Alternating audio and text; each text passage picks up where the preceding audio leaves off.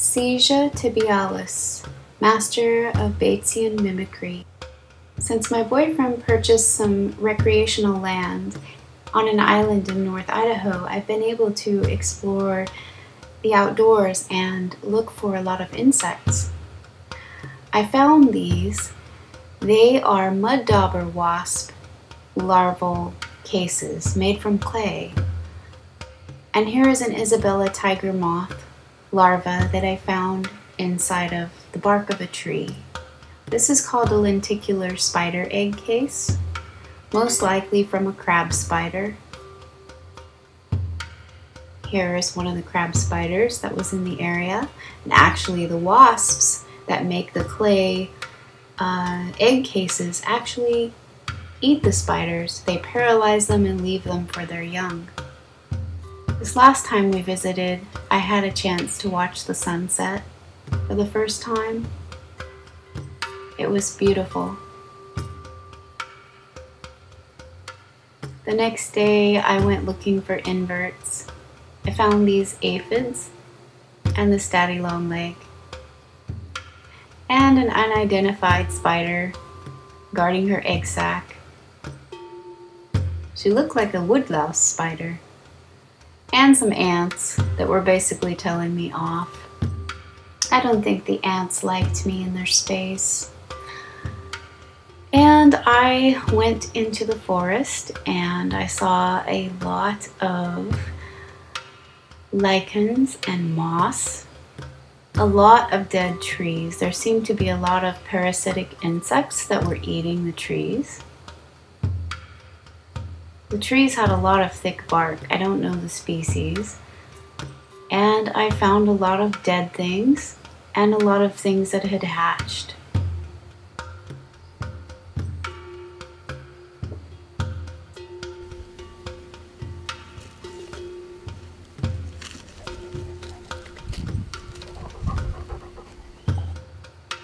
I took my dog Yuri and we went out into the forest around the island. And we saw mushrooms and we saw damselflies and we explored in the trees and what was supposed to be a trail, but it was covered in all kinds of debris, lots of sticks, um, lots of uh, thorns, but we found so many things to take photographs of. I love exploring all of the small details. And there was some waterways on the other side since it is an island, some swampy areas. I didn't really know what I was looking for, but I wanted to find something unusual and when I say unusual, that would be something I hadn't seen before. After all this exploring on the last day, I was back at camp working and I came across something that I'd never seen. So I was just using the pickaxe to get some uh, roots out of the ground so we don't trip and fall. And I saw out of the corner of my eye these giants on the dog leash and I thought that they were giant yellow jacket, but I looked closer and they have the same powdery look as a moth and you can see also the feelers are like a moth and they're mating. Ah, I think they're incredible. Honestly, I've never Never seen these before, and I've lived in the Northwest all my life. So, for this trip, looking around for some bugs, this just happened to be right in the campground. And uh, that's after I was hunting and found all these other pictures that I've shared. This is just awesome. From what I could tell right away, they were moths. But now that I've come home and done some research, I can tell you more about them.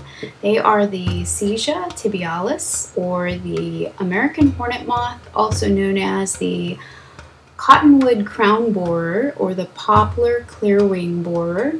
They are parasitic um, and they're diurnal, meaning they um, come out during the day.